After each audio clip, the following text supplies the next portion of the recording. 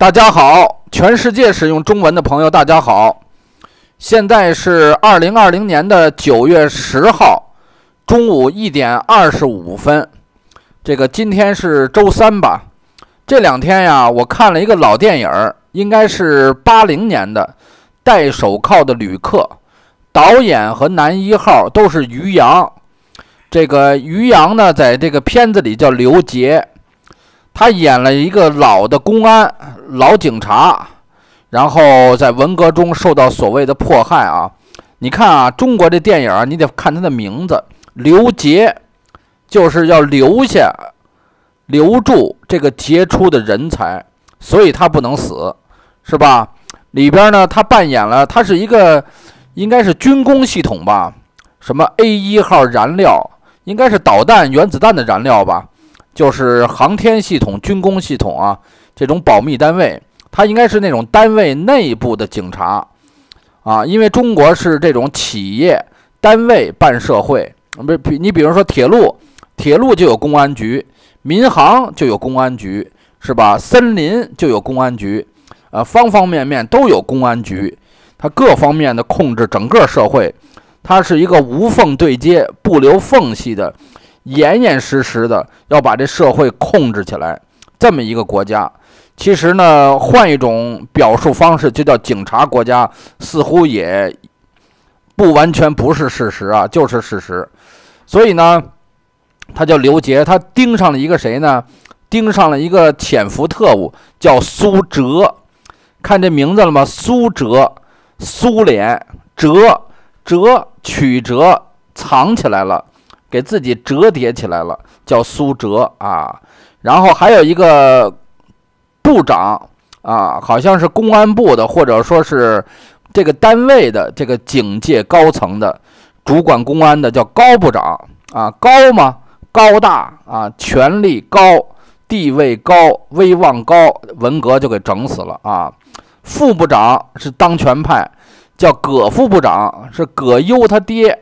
啊，葛存壮演的葛副部长，那就范葛呗，地葛，地牙是吧？这个葛就代表着这人。有人说啊，这人比较葛，北京有这话啊，说这个人比较葛，就是比较的事儿，比较的特殊，比较的执拗啊，不服管，反正就就这么个人啊，反正就是当权派吧，就是跟这个造反派结合的比较好，所谓三结合的那种人。反正留下来了，是吧？留下来的人没有被打倒，没有被杀，没有被自杀的那一类人。还有一个小蔡明儿，蔡明儿大家都知道啊。蔡明儿每年上春晚，其实他说的一点都不逗乐。然后蔡明儿演了一个小孩儿啊，在这个西双版纳这个农场里的一个插队小知青。然后在火车上，他跟这个刘杰、于洋演的这个刘杰。俩人趴在厕所里，厕所的顶棚上面藏着。这小孩是不想买票，刘杰是躲避追杀，是吧？这个电影呢，就是也还行，属于反思文学、反省文学、伤痕文学的一部分。啊，反正在这个电影刚开始没几分钟，这个在这个电视屏幕上出现了一个地图，这个地图就跟文革和今天的。内蒙古发生的事儿有关系，那个地图上很多人不知道吧？没注意，可能大概四分多钟、五分多钟的时候有个地图，那个地图上内蒙古只剩下中间一小段了。为什么呢？文革这个整内人党，那个有一个大的环境、大的背景是什么？当时中苏关系、中蒙关系都紧张，苏联要进攻。然后内蒙古的蒙古人呢，他们心又向着蒙古国，所以为了顺应这个局势，把呼伦贝尔这一带就给了黑龙江，然后把通辽和赤峰、昭呃哲里木和昭乌达这一带就给了吉林了。然后这是东边，西边，然后有一部分这个额济纳、额济纳这一带就给了宁夏。阿拉善这一带就给了甘肃，所以是黑龙江、吉林，可能有没有辽宁呢？可能没有辽宁。然后黑龙江、吉林、宁夏和甘肃，把这个内蒙古的版图给占去了三分之二，就中央出一个命令，国务院的命令，因为要整个把内蒙古要撤销的话，要经过全国人大。当时这个毛泽东、周恩来有一个想法，就整个把内蒙古自治区要撤销，但是撤销一个省级的行政区，需要通过全国人大常委会，而当时文革，全国人大常委会已经被打倒了。已经没法运作了，很多全国人大常委自杀的自杀，打死的打死，关押的关押，牢放的牢放，他已经组织不起来了，所以瘫痪状态。当时的公检法全国都瘫痪了，包括全国人大常委会，所以没办法，退而求其次，内蒙古自治区暂时保留，但是把它的东部和西部全给划到了一些省。黑龙江、吉林、宁夏和甘肃，然后只留了中间这一小段儿。甚至文革后恢复内蒙古自治区原来的版图的时候，又造成了一些和黑龙江、和吉林、和宁夏和甘肃的一些矛盾，不想完全还给内蒙。就是比如说加格达奇，加格达奇，加格达奇现在就归黑龙江管，那个牌照。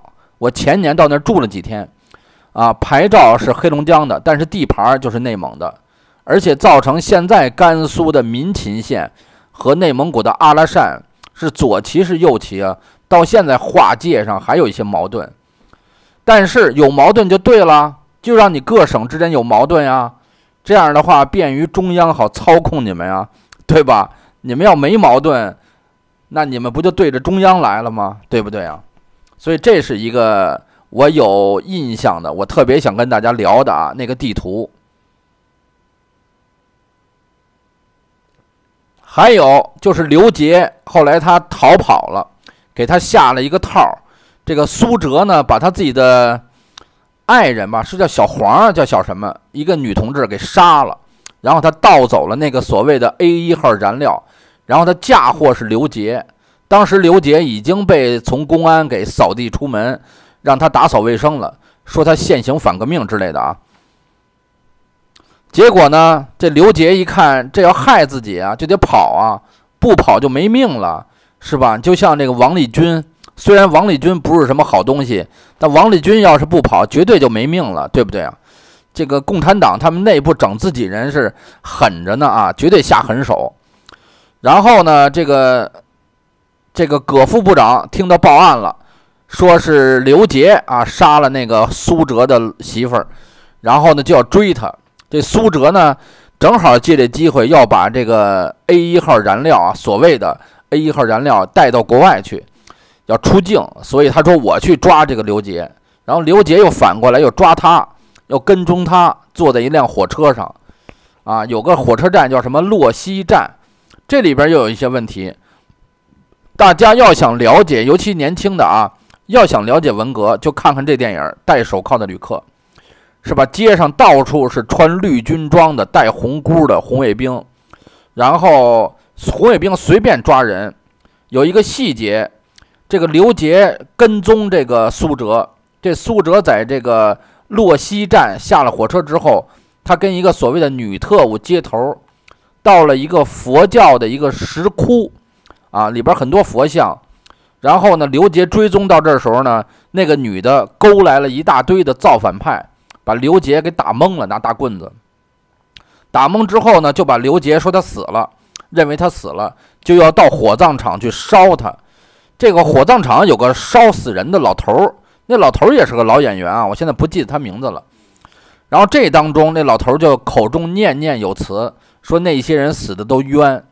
其实很多都被造反派打死的人特别多，文革期间没有经过审判，就是老百姓打老百姓，造反派打所谓的走资派、保皇派，或者群众之间的武斗，这种打死人，包括六六年毛泽东鼓动红卫兵红八月，红卫兵根本就不知道那些人住在哪儿，地址都是公安局派出所给的，当时的公安部部长谢福志。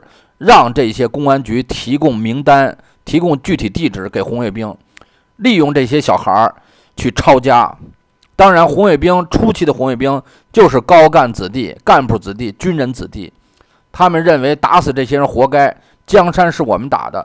没想到毛泽东这后边螳螂捕蝉，黄雀在后，整完了那些人，接着整你们的爹，整你们的妈，谁也不得好。有人说毛泽东就是他大儿子死了之后，他就更疯狂了，是吧？反正他没有后代了嘛，是吧？第二个儿子是个傻子，第三个儿子丢了，对吧？有人说毛泽东就疯了，本来他是想当皇帝，他要树太子，是吧？就跟朝鲜差不多嘛。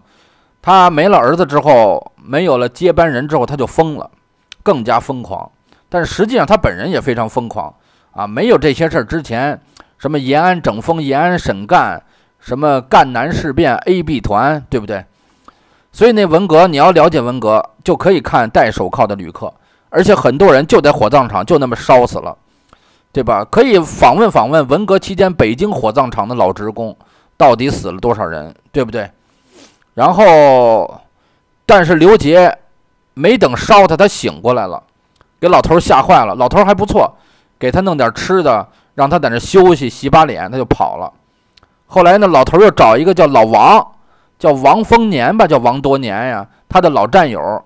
然后是谁演的呢？赵子越，赵子越，山西人，老演员，我见过一次，在积水潭医院，大概在九六年、九七年的时候见过那老头，啊，被轮椅推着，他的孙子推着他，也去看病什么的。赵子越演的一个老公安局局长，也是被造反派逼，然后呢，就想跳。跳河自杀，从一个大桥上，后来被这个刘杰、于洋演的发现，又不让他死，还让他活着啊。嗯，就这么个故事吧，反正是吧。你要了解文革啊，了解内蒙古的惨啊，就是个中央或者说汉人对蒙古人的这个不信任，甚至内人党杀了好几万蒙古人，你就看这部电影，你就看那个三四分钟的时候有一个地图。哎，这个地图证明这电影啊真，证明这电影是真。刚才我看了文昭，文昭的节目啊，我也不是老看他节目，偶尔一看。然后在三分多钟的时候，文昭做了一个，呃，他说最近有一部分人给中央啊，就是给这个一尊啊，给这个金上写了一封公开信，是韩联朝，其中这个他们写的要求取消。这个推广汉语的这个在内蒙古引起纷争的这个政策，他说其中有一个是马文瑞的女儿叫马小丽，但是我看那照片好像不是马小丽，那个照片应该是罗瑞卿的一堆子女其中一个叫罗点点，可能那个不是马小丽，他可能弄得不对啊。呃，当然了，就是谁都有错，我说的也不一定百分之百都对，是吧？就聊这么一段吧。然后苏哲，我看啊，刘杰高部长，还有一个叫张强的，对，张强是一个公安局里边不错的警察。他呢，呃，于洋演的刘杰是他老师，张强年轻警察。什么叫张强呢？彰显了社会主义的警察的强大，是吧？这名儿都有奖儿，就像那个潜伏里边那些人，左蓝。左派潜伏在国民党里边，国民党是蓝，叫左蓝啊。还有叫翠屏的吧，还有叫什么来着？那孙红雷演的叫什么名儿？他们的名字都有讲究。我过去专门在我的博客上做个文章。好了，就讲到这儿，请大家订阅侃爷，谢谢。